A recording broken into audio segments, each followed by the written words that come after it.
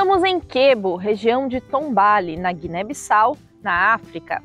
Aqui, nessa pequena cidade de aproximadamente 15 mil habitantes, a Igreja do Paraná mantém uma missão Argentes, a Missão Católica São Paulo VI.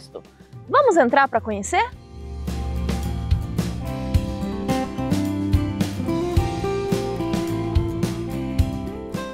Aqui nesse terreno, que pertence à Diocese de Bafatá, fica a Casa dos Missionários. Uma casa ampla, bem arejada, com quatro quartos, lavanderia, cozinha, sala de estar e uma capela. É aqui que vivem os missionários que são enviados em missão.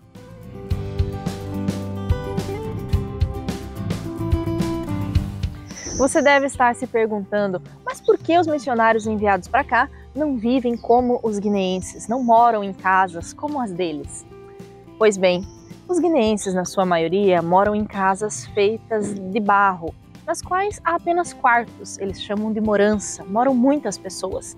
E eles entram na casa apenas para dormir. As demais atividades, como alimentação, higiene pessoal, são todas feitas fora da casa. Então, se o missionário viver nessas condições, ele não vai conseguir estar bem para realizar a sua missão. Por isso, ele precisa de um espaço onde ele possa descansar, rezar, se alimentar bem, conviver com os demais missionários, a fim de que esteja saudável, bem consigo mesmo, bem com Deus, bem com os outros, para realizar a sua missão e servir ao povo guinense.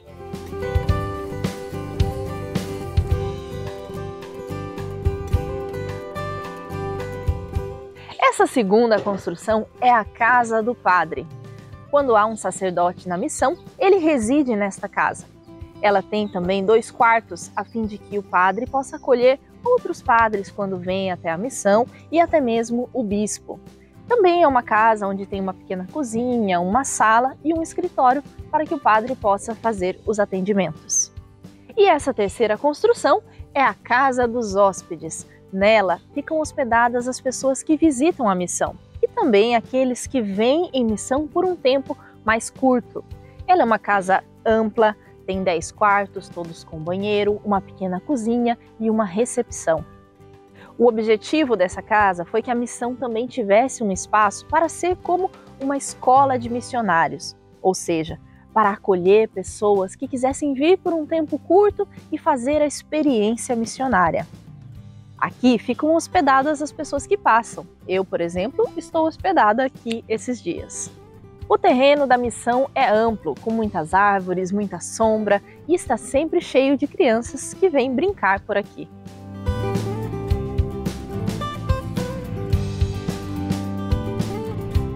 E também aqui no terreno da missão, de frente para as casas, nós temos essa construção, que pode ser chamada de um centro polivalente. Aqui acontecem reuniões, encontros, formações, ensaio de cantos e também as celebrações eucarísticas.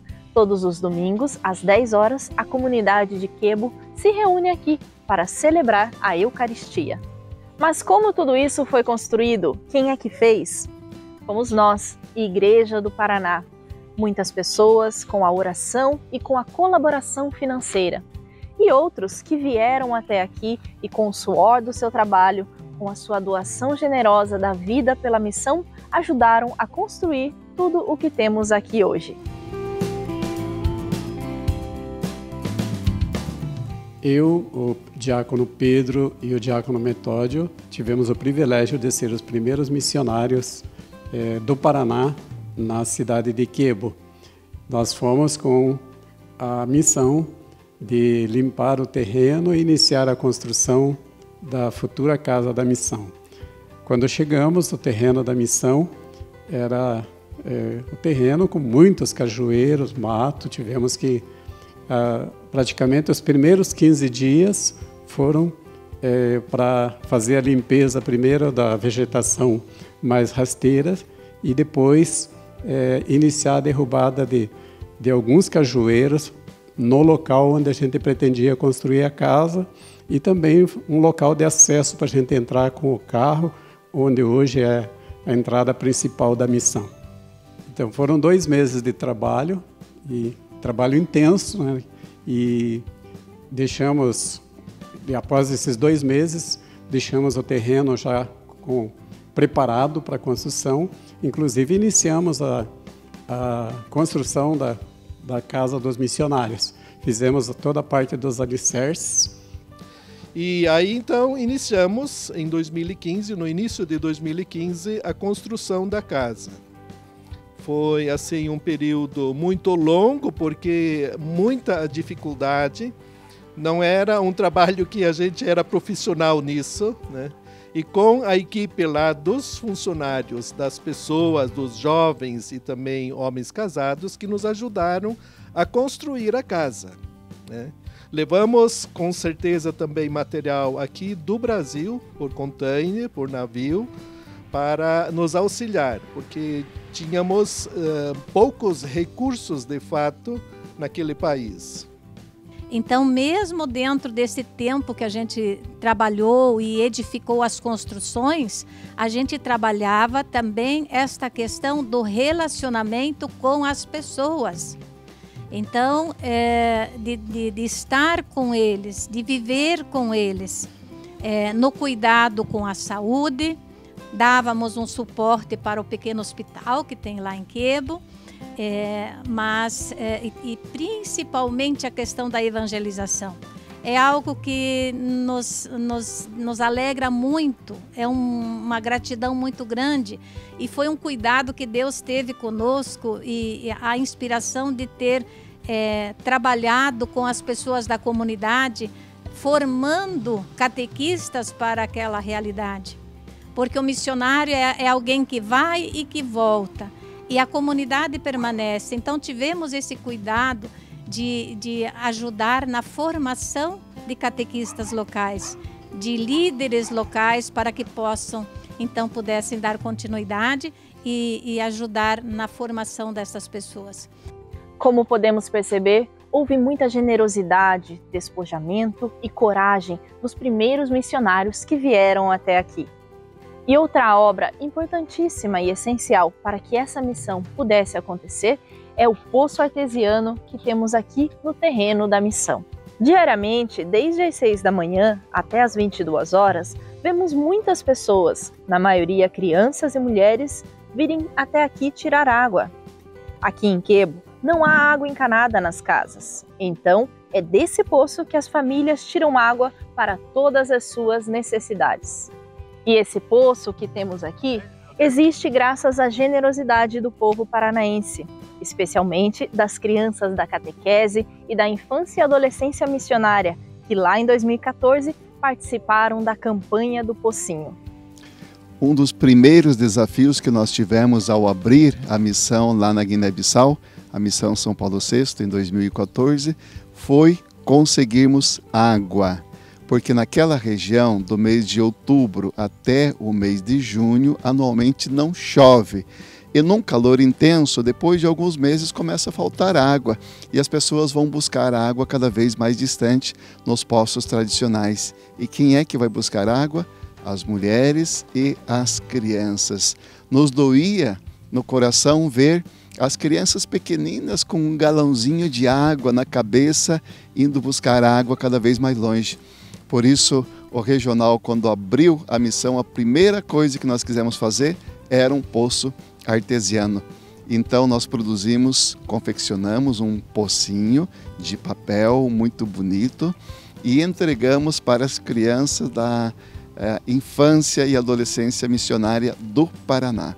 E as crianças fizeram um trabalho arrecadando dinheiro envolvendo os pais, envolvendo os padrinhos, os avós e conhecidos. E o resultado foi surpreendente, porque conseguimos não só perfurar o poço artesiano, mas inclusive comprar aquilo que era necessário para ter o poço e ter a água na missão. A missão São Paulo VI nasceu no coração de Dom Pedro Carlos Zilli, brasileiro, missionário na Guiné-Bissau por mais de 30 anos. Ele foi o primeiro bispo de Bafatá. E quando ia ao Paraná, onde residia sua família, ele sempre encontrava os bispos do Paraná e falava com muito amor da missão aqui na Guiné-Bissau. E aos poucos ele foi encantando os bispos paranaenses até que os convenceu de assumir também uma missão aqui na Guiné-Bissau.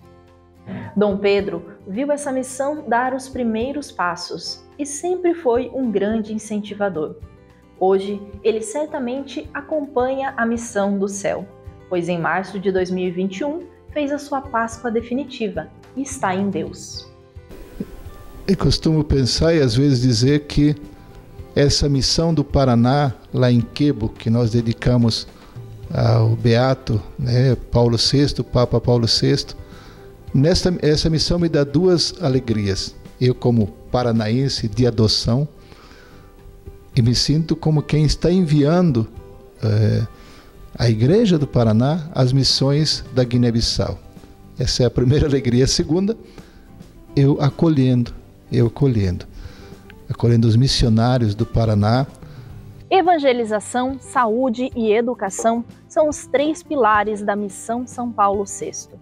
De 2014 até 2022, já passaram mais de 30 missionários por aqui, na sua maioria leigos.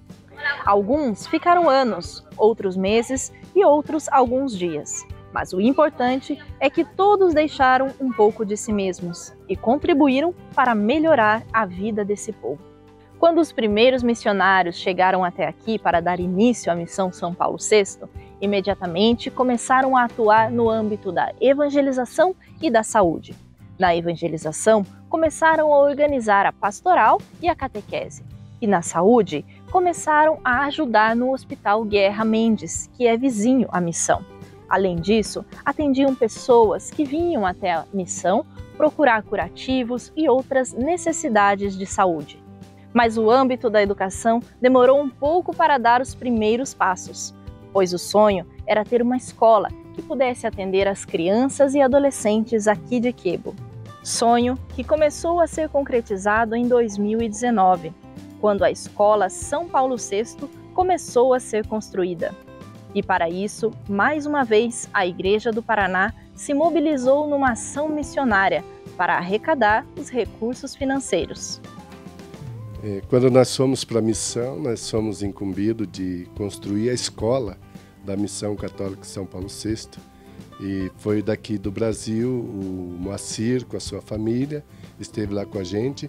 E o grande desafio foi a pandemia, que no início é, começamos a levantar, a hora que ia cobrir a escola, veio a pandemia e aí tivemos que trabalhar praticamente só nós dois e mais os missionários que estavam lá na missão. Então foi um desafio, mas com a graça de Deus e logo voltamos a equipe toda e pudemos dar continuidade na obra. E claro que toda a estrutura, falando em escola, precisaria fazer o plano é, pedagógico da escola. Então, uma equipe aqui do Brasil, junto com a equipe dos nativos lá, nós construímos esse plano pedagógico e a alegria maior foi da comunidade celebrar junto com eles em ter uma escola tão próximo deles e claro que superou as expectativas de Quebo a escola São Paulo VI é, para aquela região. Foi tudo muito maravilhoso, foi realmente a ação do Espírito Santo em nossas vidas para poder realizar essa missão no meio daquele povo querido. E a obra continua. Já temos dois blocos de três que são previstos construídos. Mas desde outubro de 2020, a escola já está funcionando. As primeiras turmas de jardim de infância e primeira classe já estão estudando.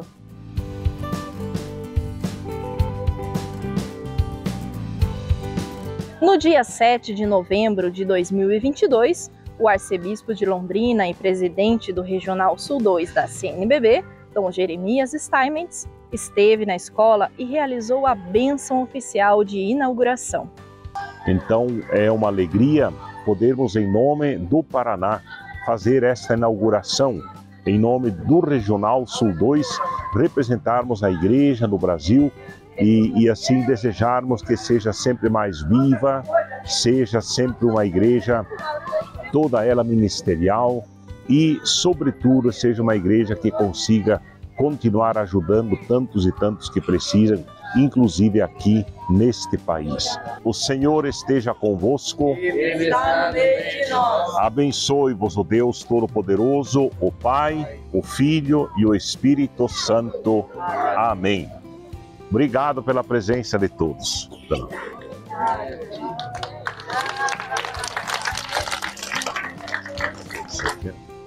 Essa é a missão São Paulo VI, a missão Agentes da Igreja do Paraná.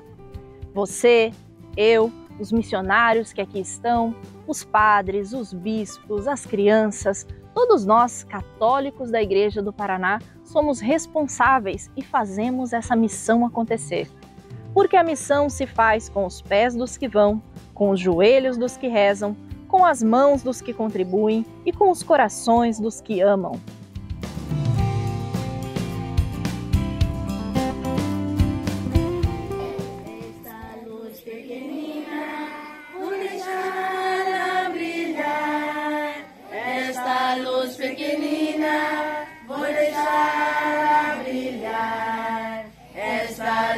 Quer que